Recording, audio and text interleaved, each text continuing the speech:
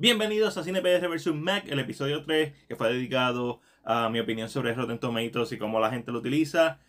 Fue muy cortito para mi gusto, así que le estoy dando el episodio 4, va a ser dedicado a Godzilla y su versión americana, Godzilla King of the Monsters. Y también voy a hablar un poquito de las películas de los años 50, ya que como parte del especial de Halloween, eh, pues hice un trabajo de investigación específicamente cuáles eran consideradas las mejores películas de horror de los 50. En el último año he visto varias de ellas, he visto 8. Hoy mismo 26 de enero del 2024 estaba viendo The Thing from Another World, que es la primera adaptación de la historia corta de Joseph W. Campbell, Who Goes There, que luego John Carpenter le hizo en 1982 el remake y probablemente mi película favorita de horror de todos los tiempos, The Thing. Pero vamos a los 50, que son los 50 en el horror. Pues obviamente en los 40 el horror se convirtió más cómico. No es que no habían películas serias, si las habían, pero ya para finales de los 50 las películas más populares de horror eran más que todo comedias. Cuando llegamos a los 50, después de la Segunda Guerra Mundial, entonces tenemos este miedo a, a la ciencia, a las bombas atómicas, a los extraterrestres, y vemos muchos monstruos y criaturas slash insectos gigantes. Y esto no solamente en el cine, sino también en la ficción, en la literatura. Vemos películas como Tarántula, como Invasion of the Body Snatchers, como The Team from Another World.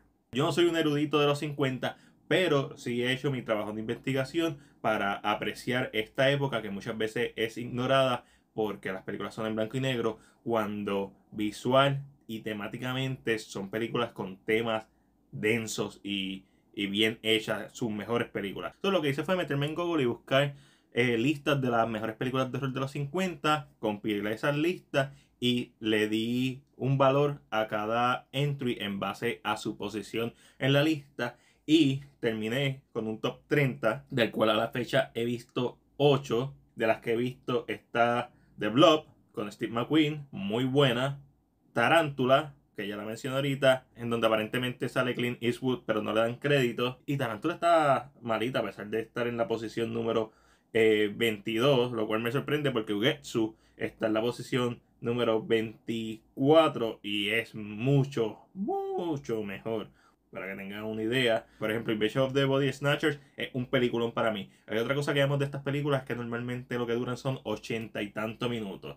Y cuando nos vamos a Godzilla, la original, lo que dura es 96 minutos. Para mí el tiempo perfecto para la película, ya que deja todo respirar. Y cuando comparamos esto con la versión americana, Godzilla King of the Monster, que dura solamente 80 minutos, yo no sé. Este episodio es una excusa para hablar de Godzilla King of the Monsters que otra cosa. Esta versión americana fue estrenada dos años después en Estados Unidos de la versión original que estrenó en el 54. O sea, Godzilla of the Monsters estrenó en el 56. Y adelante, la primera escena de esta versión es algo que ocurre a mitad de la película original, que es una escena de la destrucción en Tokio. Y cuando empezó ahí la versión americana, yo dije, ¿qué es esto que estoy viendo? Por cierto, ambas películas las vi en el Criterion Channel. Como siempre les digo, para mí es el mejor streaming service que hay, hands down. Mucho mejor que HBO Max, mucho mejor que Netflix. Para saciar mi set de horror, pues veo Shudder, pero en cuanto a películas en general, el Criterion Channel es la que hay. Y Roku Channel también me gusta mucho, tiene muchas opciones para ver gratis, entre comillas. Tenemos la película del 54, que es un película dirigida por Ichiro Honda, que todo el mundo sabe que es una metáfora, una alegoría a las bombas nucleares y también a un ataque que hubo con un H-Bomb que básicamente mató a un barco pesquero, si no me equivoco.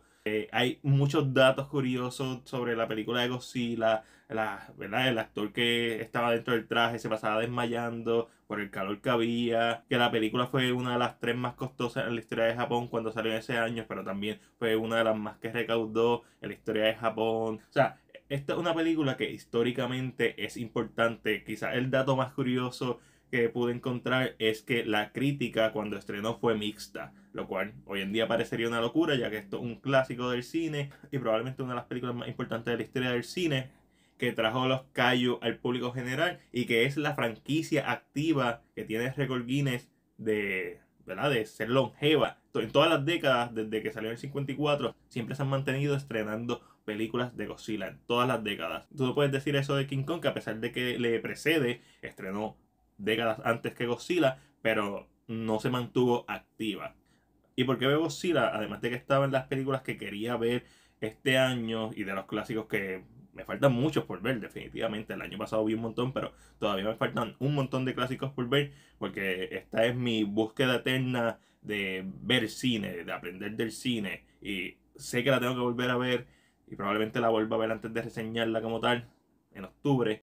Que by the way, si quieres escuchar esta reseña con meses de adelanto, lo puedes hacer a través de patreon.com slash cinepr. Y porque una de las cosas que quiero hacer este año, además de terminar las reseñas del universo cinemático de The Conjuring, además de hacer las dos reseñas que me faltan de, ¿verdad? de Renacimiento de Disney, una de las cosas que quiero hacer este año es ver las películas de Godzilla. No todas porque son un montón, pero sí quería ver estas dos, ¿verdad? La primera y su versión americana y del Hazy Era, las quiero ver todas, al igual que del Millennium Era, quiero verlas todas este año. Y con suerte reseñarlas. Pero como siempre, a mí me gusta empezar desde el principio, así que vi esta. Clásico, peliculón, no es perfecta, hay cosas que son risibles para los estándares de hoy en día, pero uno no ve estas películas pensando que es 2023 y poniéndola a los estándares de hoy en día, sino con el pensamiento de que esto es una película de 1954 y qué aportó esta película que no existía o cómo esta película influenció los demás filmes. Y una de las cosas que me encantó es ver la influencia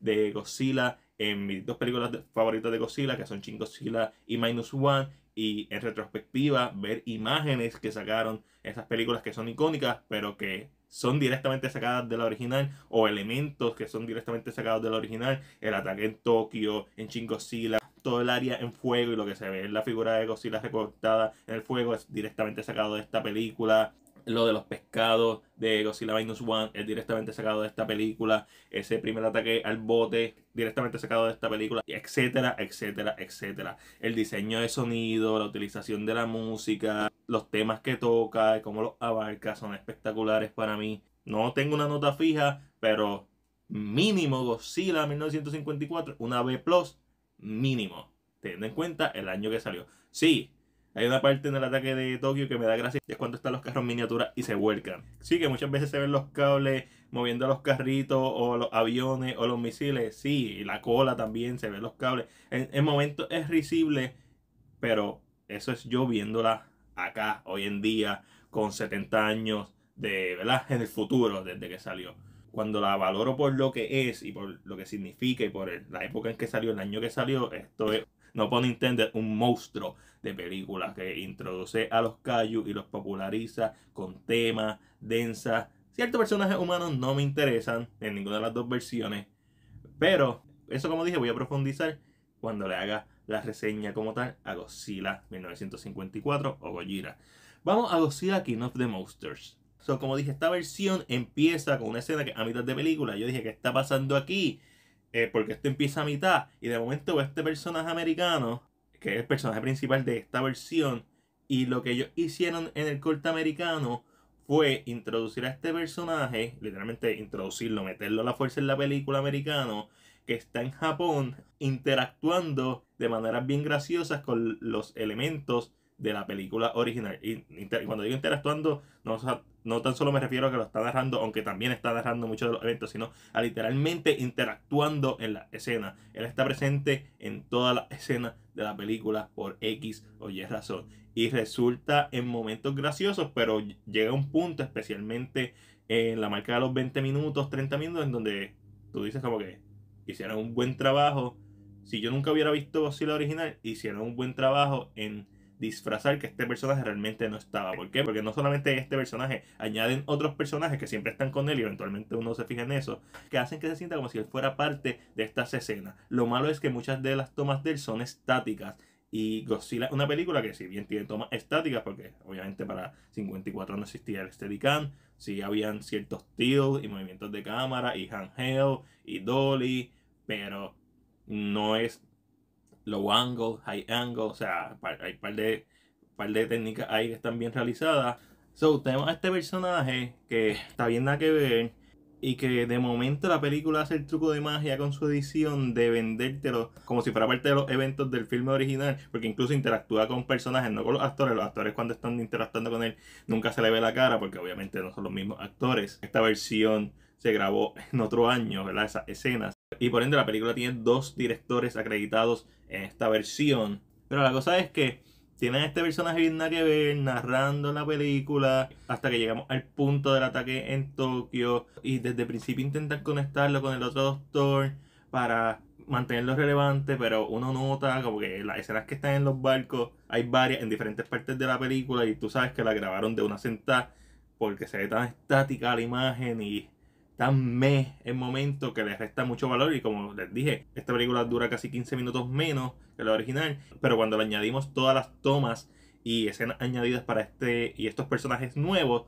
pues en realidad la película pierde bastante de la original. Aunque todas estas tomas y diálogos nuevos son alrededor de la misma escena, porque hay muchas escenas de él preguntando, ah, ¿qué dijo? Porque está hablando japonés y él no lo entiende. Y pues otro personaje, un traductor japonés, le, le explica lo que dice. Y es como que yo entiendo como si tú estabas en el 56 y esta fue la primera versión de la película que viste, esta película te impactó y funciona. Eso yo lo puedo entender. O independientemente si no fue en el 56, si fue en el 60, 70, 80. Si esta fue la primera película de Godzilla que tuviste, yo entiendo cómo esta película puede funcionar. Pero una vez uno ve la original y todas las decisiones que se tomaron para esa película, aunque sí hay momentos en donde estira un poquito el chicle de la original y sí hay personajes que no funcionan y que en esta versión pues funcionan un poquito mejor. La mayoría de los elementos en la original son mucho mejores porque se sienten naturales y cohesivos. No tenemos un personaje americano que básicamente como si fuera una mosca en la pared interactuando con los eventos y personajes. Aún así, ambas películas son altamente recomendadas. Eh, a menos que yo no vaya a reseñar la versión americana, no creo que la vuelva a ver en mi vida, pero Godzilla 54 sé que la voy a volver a ver. Como les mencioné, quiero volver a verla una vez más antes de reseñarla para el mes de octubre. Pero lo más importante de esto y de este podcast es mi exhortación a que sigan viendo cine. Y no tan solo el cine que estrena, que está nuevo, que está disponible, que está accesible en Netflix y eso, que tú encuentras muchas joyas en Netflix, sí. Pero que hagan un poquito de esfuerzo en disfrutar del cine, de aprender del cine. Si te gustó Godzilla Minus One, ve Shin Godzilla. Si te gustó Shin Godzilla, ve para atrás, no tienes que ir necesariamente a estar 54, eso fue algo que yo me impuse, pero hay tantas y tantas películas buenas y si te gusta lo que ves, métete a Individuos, métete en Wikipedia, métete en Google y verifica fun facts o los trabajos que hicieron el actor que te gustó de esa película o si lo que te gustó fue la música, pues lo que hizo, ¿verdad? Otras composiciones de ese músico o el director, que más ha hecho el director. O si te gusta un género como a mí en particular que quieres aprender más, pues busca en Google cuáles fueron las mejores X películas de ciencia ficción o de horror o thriller o noir, lo que, lo que sea, dramas, comedia de esta época. Y así es que uno aprende de cine. Estoy bien contento de haber visto Godzilla. Eh, estoy también contento de ver la versión americana y toparme con las grandes diferencias. Porque al ver estas películas aprecio más el legado de las mismas. Porque el cine no hay otra forma de hablar de él si no es viéndolo. No es suficiente con solamente hacer el research. No es suficiente con solamente ver las películas que están estrenando hay que retroceder el pasado, hay que mirar a lo hecho y apreciarlo y estudiarlo si quieres llamarte un cinéfilo. El punto es compartir. Ese es el punto de este podcast, compartir mi experiencia cinéfila, ya que simplemente haciendo videos pues no es suficiente para mí, como dije en el episodio 0. Y estas películas que hablé el día de hoy, honestamente dudo que pueda hablar de ellas de otra forma, porque honestamente uno también tiene que crear el contenido en base al interés del público y ahí es donde está la falla de todo esto de las redes sociales y uno también tiene que tener eso en cuenta, pero esa es solamente mi opinión. Ahora déjame saber la tuya en la sección de comentarios. Como siempre, si te gusta este video, dale like y compártelo. Recuerda suscribirte a nuestro canal de YouTube, escucharnos por Spotify, darle la campana de notificaciones para que no te pierdas nuestra, nuestro contenido. Este fue Mac de CinePR y será hasta la próxima.